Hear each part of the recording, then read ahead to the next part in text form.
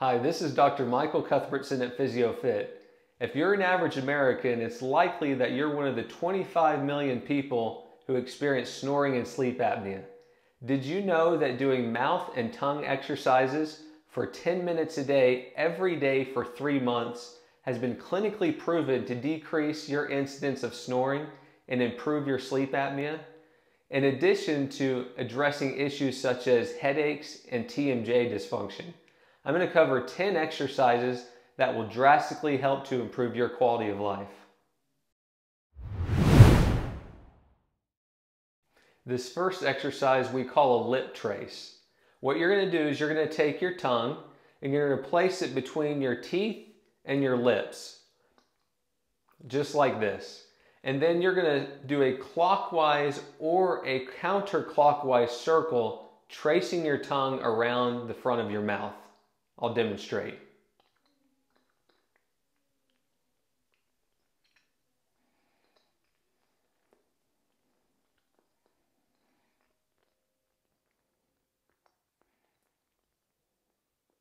Do that for 10 times each direction. This next exercise we call the tongue slide. What you do is you place your tongue at the front of your mouth, right behind your front teeth, and then slide your tongue backwards.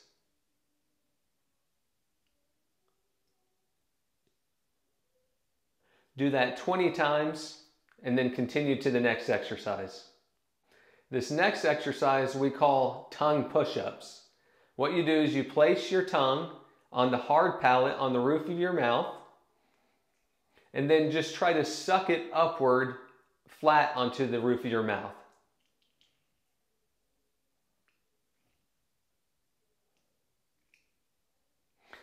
After you found that you can do that easily, you can improve the challenge of that exercise by sucking it up onto the roof of your mouth and then slowly lowering your jaw.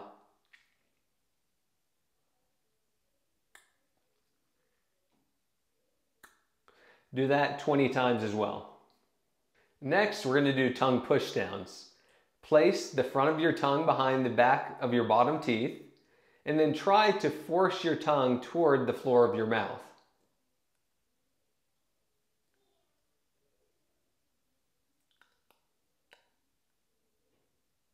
Do that about 20 times. Now we're going to do what's called a spoon hold. Get a spoon, place it underneath your tongue, and then close your mouth on top of the spoon. Don't let your teeth contact the spoon and then hold that for as long as you're able to 30 seconds to a minute or even longer. If you want to make it even more challenging, add weight to the spoon, coins, or some other weighted object, and then hold it in that position, making sure that you keep the spoon out straight in front of you without letting it drop down. It looks like this.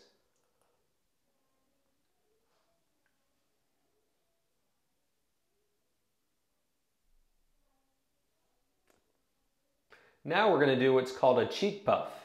It's exactly what it sounds. We're going to puff out the cheek to one side, hold that for five seconds, and then do the same thing to the left side, doing that 10 times left and right. It looks like this.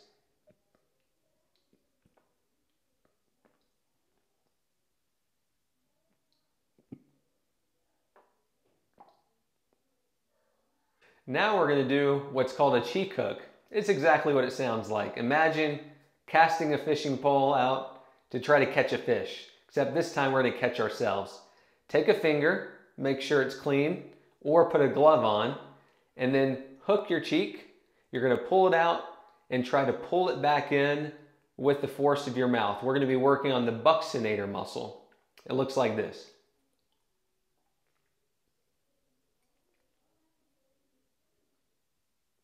Do that 10 times each side.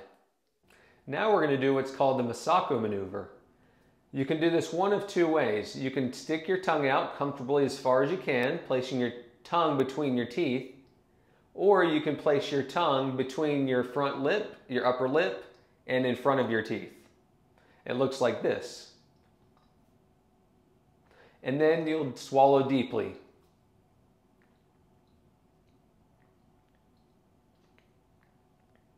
You would do that about 20 times. Now we're going to do vocalization. Vocalization in any form, whether it's singing or some of these design exercises, is supposed to strengthen the muscles at the back of the throat, the pharyngeal muscles. It also helps that uvula, that little flap of skin that you see hanging in the throat, by getting those muscles to move upward. You can do it in a number of different ways. The first one is simply holding the note ah. You do for a prolonged, sustained period of time. Ah. Or you can do it intermittently by doing ah, ah, ah, ah, ah, ah. You can also do what we call arc and unk, back and forth. It, it sounds like this. Arc, unk, arc, unk, arc, unk, arc, unk. If you do the intermittent form, you do that 20 times with whatever you choose to do. This last exercise is actually for the deep muscles of the neck. The way that we do this is we're going to elongate the neck and tuck our chin down slightly. And then you're going to take your hand and apply pressure underneath your chin toward the top of your head. As you do this, you make sure that the tongue remains on the roof of your mouth.